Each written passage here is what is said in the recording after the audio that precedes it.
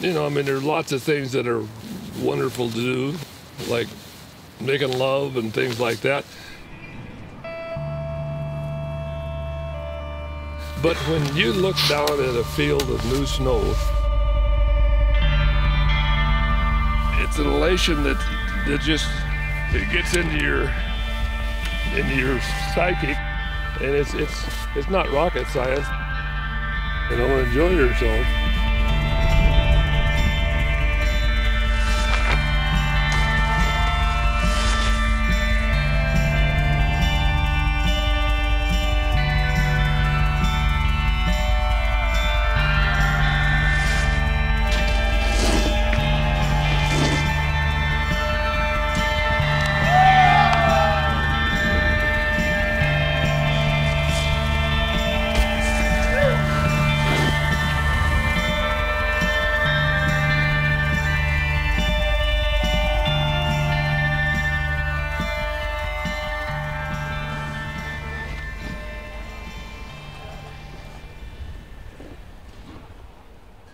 Imagine a ski area that embraces the past. Fun, relaxed, family oriented, adventuresome, and affordable. A place that receives over 21.5 feet of dry powder, an abundance of sunshine, and offers a variety of terrain, including an accessible backcountry.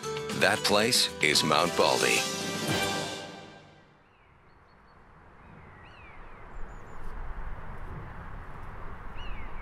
There, there wasn't even a road here when we started building. And in those days, I was a lot younger and a lot tougher. Now, now I couldn't hardly walk up from the lower road by myself. Oh my gosh, look at here. This cabin, all of it came off, I guess. what a crazy way to build a house. That your roof unloads in your parking lot. no, thanks seems like everyone kind of knows each other up here. You know, there's like what 100 cabins. Year round, I think there's 30 permanent people. You, you might not even live up here, but if you're a pass holder for a few years, you're a local. This is my friend Mike. He, he's a one of the next next to old timers. Next to old timers, yeah. Not as old as him. The, the mountain story is really, you know, a bunch of people wanting to have a ski hill and just did it with brute strength and awkwardness, you know. We were always dollars poor, land rich, and and uh, and so we were always trying to figure out how to do it ourselves, you know, and so.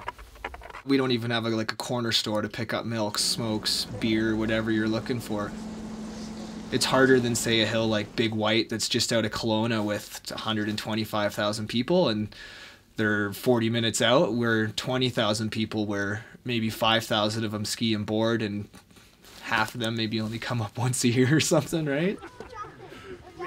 When the, the small hills started, they were community operated things. You know, somebody formed a ski club. And now it's grown into these enormous vales, which to me, is not a fun thing to go to anymore. I've been to all of them. I skied all, almost everything in the West, and but I, you know, it's pretty hard to beat Baldy when the weather is good.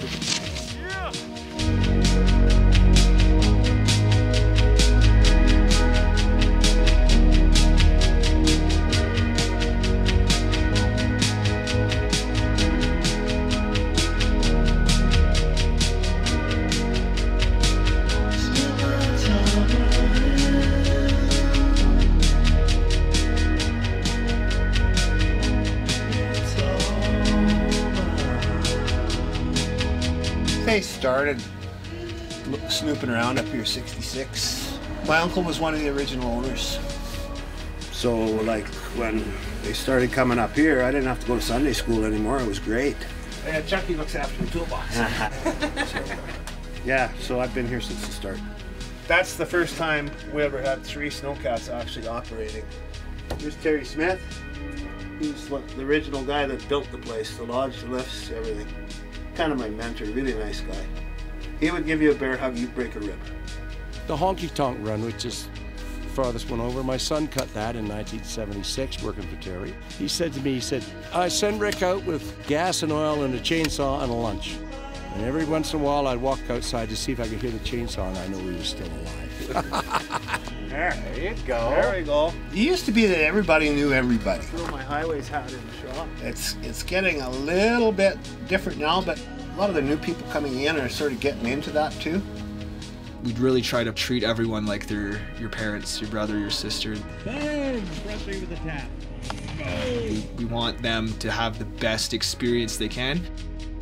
Even if the skiing sucks and you know we ran out of this in the in the bar, 51 lagger. Keep it going. Keep it going. Keep it going. there's no no fries left because there was 500 people up today and everyone ordered poutine. in the bank and red Colin t-shirt.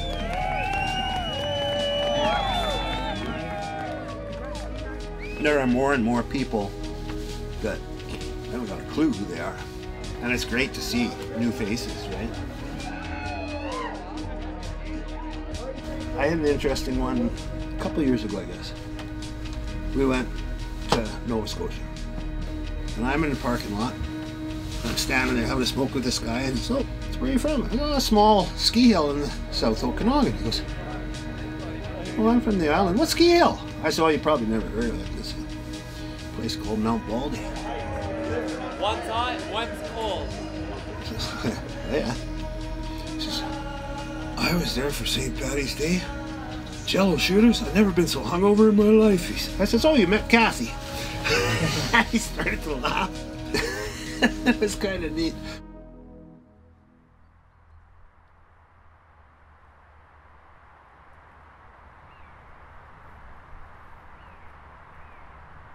And you know, a funny thing about being on the mountain, I I come up every summer and work on my cabin and do things, and change things and fix things.